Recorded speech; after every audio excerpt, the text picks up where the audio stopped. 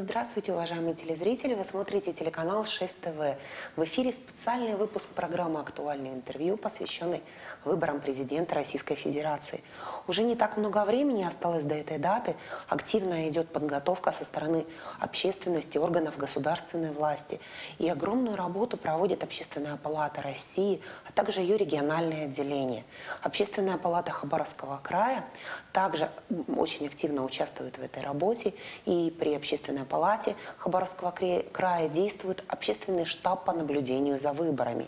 Кроме того, палата э, принимает непосредственное участие в подготовке наблюдателей, которые будут участвовать а, в самом а, выборном процессе и, присутств... и будут присутствовать на каждом избирательном участке в день выборов президента Российской Федерации. Сегодня об этом и о многом другом мы поговорим с гостями в нашей студии. Это Валерий Хидиров. Здравствуйте, Валерий Здравствуйте. Постоянный представитель Республики Северная Осетия Алания в Дальневосточном федеральном округе заместитель председателя Совета Хабаровской краевой общественной организации Ассамблеи народов Хабаровского края, член Общественной палаты Хабаровского края.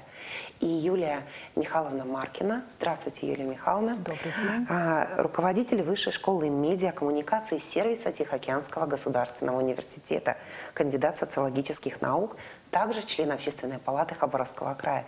Валерий Зуравович, первый вопрос к вам. Вы, как а, постоянный представитель Республики Северная Осетия Алания в ДФО. И, э, кроме того, вы член Общественной палаты Хабаровского края. И количество контактов, э, которое производите вы с представителями общественных организаций, вообще с членами ассамблеи, также других сообществ края, оно огромно. Какие, на ваш взгляд, э, сейчас царят настроения в обществе вот, по отношению к предстоящим выборам президента?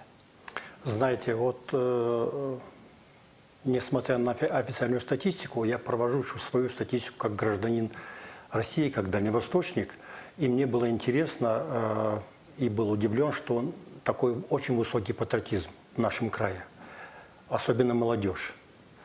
Э, люди развернулись к своей истории, к своим корням и смотрят в будущее, поэтому отрадно э, встречать вот таких ребят, молодых ребят, которые будут строить наше будущее, нашу страну. И очень встречал людей, которые были нейтральны от политики, в общем-то, не за наших, не за ваших. Они сегодня приняли устойчивое свое положение. Мы россияне, мы за Россию. России сегодня сложно нашей стране в геополитике, поэтому действительно, когда сложно, мы все объединяемся – мы страна многонациональная, и поэтому, конечно, вот это единство меня радует. И очень приятно, что все в один голос а, будем поддерживать СВО, будем поддерживать нуждающихся, будем поддерживать страну, будем платить достойно налоги. Э, раньше э, многие этих вещей редко когда можно, можно было услышать. меняется да. действительно. Меняется, мы сами меняемся. Люди меняются, общество меняется. Поэтому в этом направлении, конечно, э, отрадно то, что... Вот, э, ну, что это все происходит. Что это происходит, да, конечно. Да. Юлия Михайловна, вы непосредственно работаете с огромным количеством молодежи. Э, сами, сами ведете пары у студентов. Вот какие у них настроения связаны с выбором? Что они думают? Смотрите, Виктория, студенты э, Высшей школы медиа, коммуникации и сервиса, они входят в структуру Института социально-политических технологий коммуникации. Да? Нам сам Бог велел быть э, внимательным к процессам а, социально-политическим, экономическим происходящим в обществе, следить за повесткой, анализировать ее. Но также мы общаемся со студентами других направлений. А вчера, готовясь к нашим встрече и даже заходя а, в группы студентов, которые уже старшекурсники, задавая вопрос, ребята, а кто идет на выборы? И Понятно, что так как это была неформальная история, и это не, не специальный социологический опрос, я, честно скажу, удивилась такому абсолютно единодушному поднятию рук. Мы, мы, То я, есть молодежь я иду. собирается идти на да.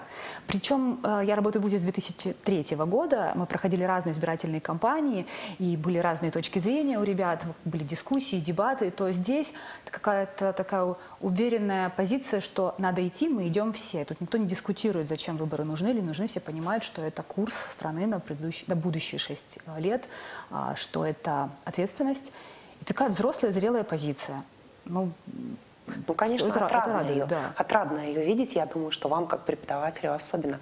Уважаемые телезрители, 29 февраля Общественная палата Хабаровского края провела а, круглый стол на тему «Общество и выборы».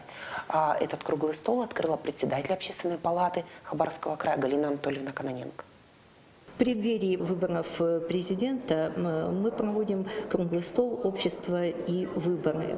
Э, сегодня собираются эксперты, политологи, члены общественной палаты, э, люди, которые занимались подбором и подготовкой наблюдателей. То есть это тот пул людей, которые так или иначе работают над вопросом обеспечения легитимизации выборов.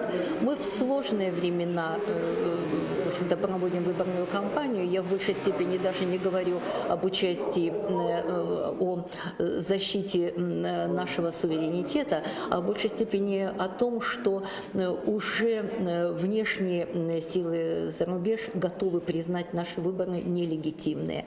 И поэтому на этой площадке мы сегодня обсудим ту тематику, которая нам поможет достойно провести выборную кампанию и сформировать полное доверие наших граждан к выборам. Юлия Михайловна, вы сами непосредственно, как член общественной палаты, присутствовали на данном круглом столе. Расскажите вот ваши впечатления. Очень ценно, что Общественная палата Хабаровского края всегда в таких площадках старается учесть э, точки зрения разных профессиональных сообществ. Были эксперты, политологи, журналисты, члены общественных советов, председатели общественных советов, юристы, социологи. И э, каждый из спикеров отмечал высокий рост э, патриотизма. С одной стороны, активное участие людей в желании наблюдать за процессами выборов, роль молодежи в избирательном процессе, зрелость определенную, да, вообще общество, общество. Всего. Да, и, конечно же, поднимался вопрос о том, что важно, чтобы эта зрелость была еще выражена в конкретных действиях, а именно прийти на выборы, прийти, проголосовать, не думая о том, что раз все вокруг вот думают, что это важно, значит, кто-то другой сходит и э, проголосует. Здесь важно, чтобы каждый гражданин, каждый э, член общества, гражданского общества понимал, что важно в день голосования, тем более выборы президента Российской Федерации, прийти на избирательный участок. И дискуссия была достаточно интересная у нас, э, да. А, профессиональная, и благодаря... Да, вы тоже присутствовали, Валерий Зурович. Да. Что вы скажете? Плодотворно проведенный круглый стол. Самый главный акцент, э, я для себя заметил, что э, надо провести эти выборы прозрачно и чисто, чтобы было все ясно. Любые нарушения надо пресекать, чтобы общество, граждане понимали, что проводятся выборы честно и правильно. Поэтому в этом отношении, конечно, были затронуты очень многие вопросы, которые волнуют нас. И действительно важно, чтобы наше общество, наши люди пришли на выборы. Вопрос другой, за кого будут голосовать. У нас четыре кандидата в президенты. Но мы, наш долг как граждан, прийти на выборы и показать хороший результат. Это наше участие в жизни нашей страны. Но как раз для всего этого и а, придается сейчас такое огромное внимание подготовке общественных наблюдателей, которые организуются в том числе силами Общественной палаты Хабаровского края, наверное, большей частью силами Общественной палаты Хабаровского mm -hmm. края. Да. Вот, Юлия Михайловна, вы также абсолютно в курсе этого процесса подготовки наблюдателей.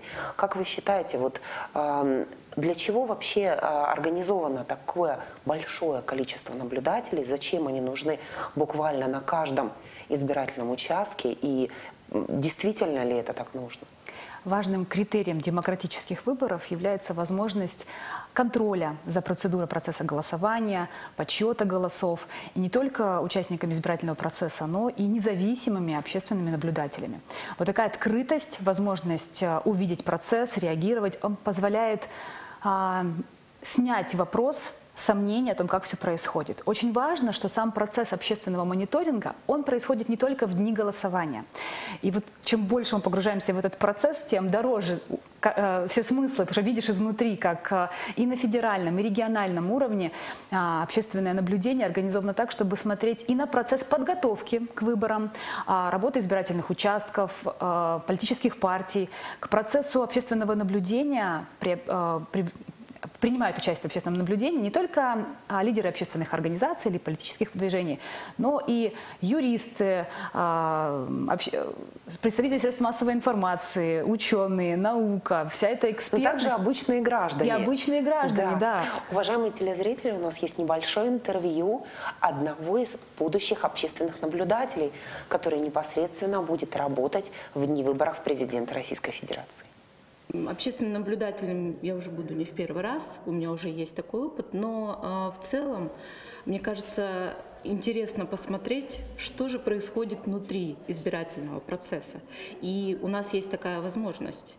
Мы можем э, проверить, как э, члены избирательной комиссии работают непосредственно со своими избирателями. Э, следим за всем процессом, чтобы он был э, открытым, легитимным. Первый раз я участвовала общественным наблюдателем при э, избирательной кампании мэра города Хабаровска. Здесь масштаб совсем другой, и э, я думаю, что и явка будет гораздо больше.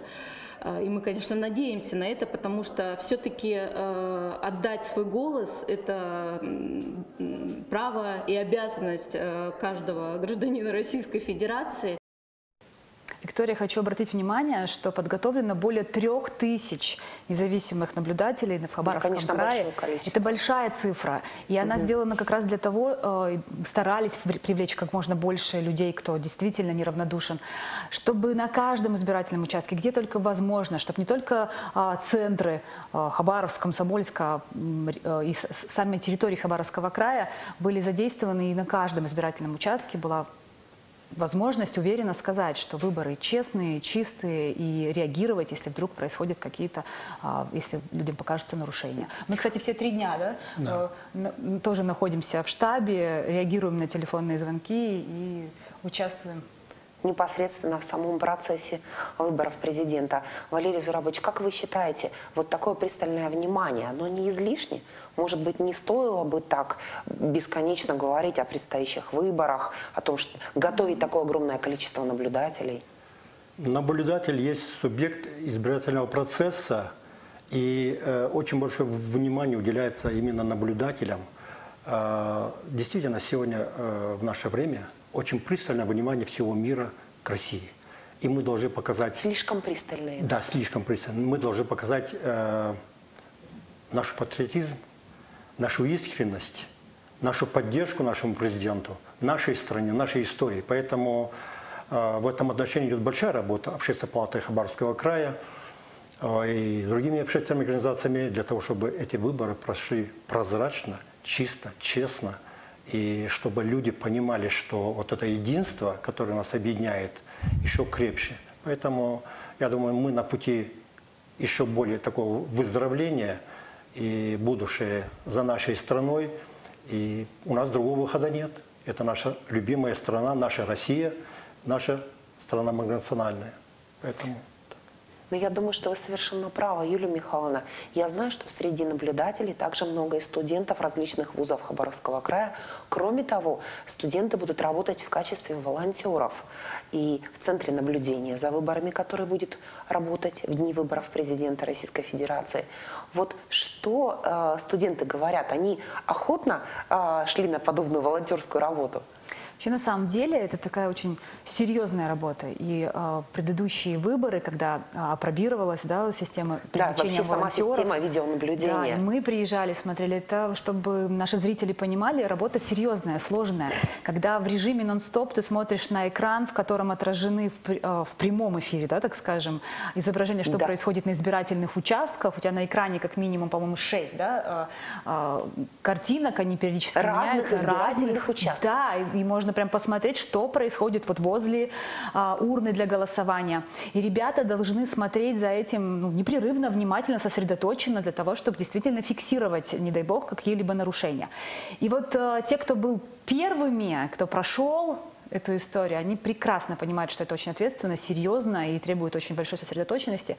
А, Это, конечно, возвысило статус самой, самой роли волонтера, это, да, это не встречать, подавать, подносить, это под, прям быть вовлеченными в всю, всю серьезность процесса. Поэтому у ребят э, высокий к этому интерес. Конечно, многие хотели бы идти еще с позиции э, тестирования своих профессиональных навыков. Например, юристы, ребята юридических направлений смотрят за тем, что происходит. Или журналисты, связи, связи с общественностью. Для них тоже понятно и важно, зачем происходит такой процесс.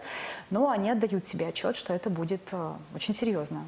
Что Ну что, не- внимательность, не- нельзя прийти просто, например, побыть, ничего не делая, отдохнуть. Так скажем, потусить в обществе. Невозможно. Что серьезная работа. Невозможно, невозможно это сделать. Самое главное, хорошо, что наши а, предыдущие волонтеры рассказывают, как процесс устроен. Я благодарна, что и у нас, у членов общественной палаты, а, на предыдущих выборах была возможность приезжать, смотреть. Мы понимаем, как происходит этот процесс. А, Большое количество экранов, большое количество волонтеров. У каждого волонтера своя подборка, меняющихся каждые несколько минут. э, И можно по запросу прям ввести такой-то УИК, посмотреть, что на нем происходит. Это возможность показать абсолютную прозрачность происходящих процессов на избирательном участке. Но я думаю, что э, ни у кого не будет сомнения после организации такой обширной работы и по общественному наблюдению, и по мониторингу, и по видеонаблюдению в том, э, насколько легитимны результаты будущих выборов президента России. Хочу вас поблагодарить за то, что вы пришли к нам в студию, выделили время. Спасибо вам большое, уважаемые телезрители. Вы смотрели специальный выпуск программы «Актуальное интервью», посвященный выборам президента Российской Федерации. Вы смотрели телеканал 6 ТВ. Оставайтесь с нами. Будьте здоровы и счастливы.